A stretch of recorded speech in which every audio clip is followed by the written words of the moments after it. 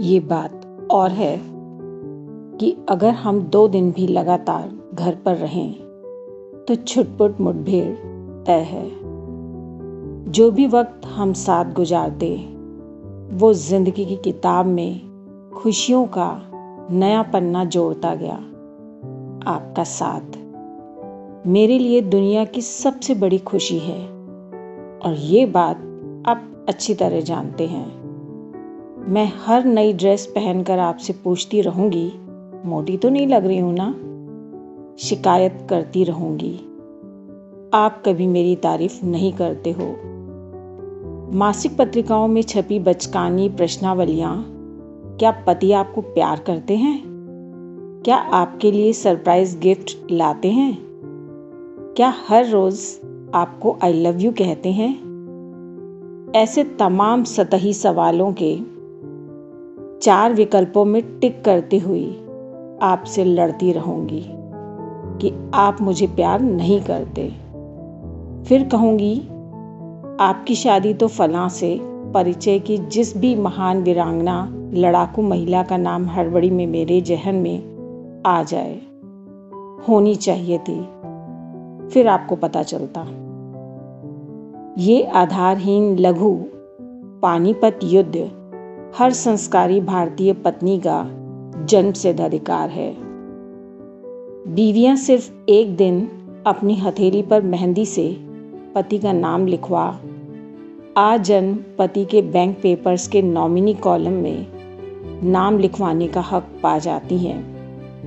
हज़ारों की अनाप शनाप शॉपिंग करने के बाद पुरानी टी शर्ट स्वेटर के अंदर पहन बचत की सलाह दे मितव्ययी आर्थिक सलाहकार बनती हैं। जब हम पहली बार मिले थे, तब संयोग से हम दोनों के कपड़ों का कलर नीला था। ये वो उम्र थी जब ड्रेस की मैचिंग से ज़्यादा रोमांटिक बात दुनिया में कुछ और हो ही नहीं सकती थी। सहेलियों के पास भी उस परिधान मैचिंग जैसे महत्वहीन मुद्दे पर गंभीर चर्चा करने के लिए भरपूर वक्त और सलाहें थीं। जहाँ मेरी शैतानियों की वजह से घर पर मेरे नाम मधु का उल्टा उच्चारित कर पुकारा जाता था। धूम और आपके दबंग स्वभाव के कारण आपको जिस नाम से बुलाते हैं वो मैं यहाँ नहीं लिख पा रही हूँ। शादी के पहले सभी को चिंता थी कि आप बहुत एकांत प्रिय हैं और हमारे घर के मेले जैसे माहौल में कोई मेहमान एक दिन के लिए रुक जाए तो भीड़ भाड़ की वजह से यक्ष प्रश्न होता था। फिर कौन कौन कहाँ कहाँ सोएगा? शादी के बाद मैं दिन भर सासू माँ से आपके बचपन के किस्से सुनाने को कहती थी। हम दोनों के स्वभाव में ज़मीन आसमान की असमानता है।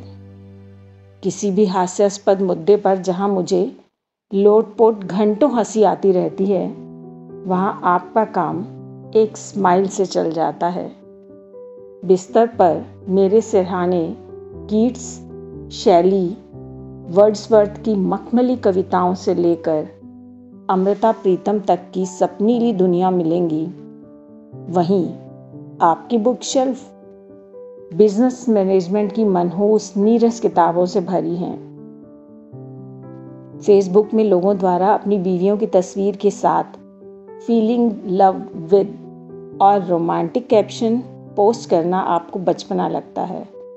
और मुझे सो रोमांटिक आप अक्सर बोलते हो कि बीवी के लिए लव फील हो रहा है तो बीवी को बताना छोड़ फेसबुक में दुनिया को बता रहे हैं।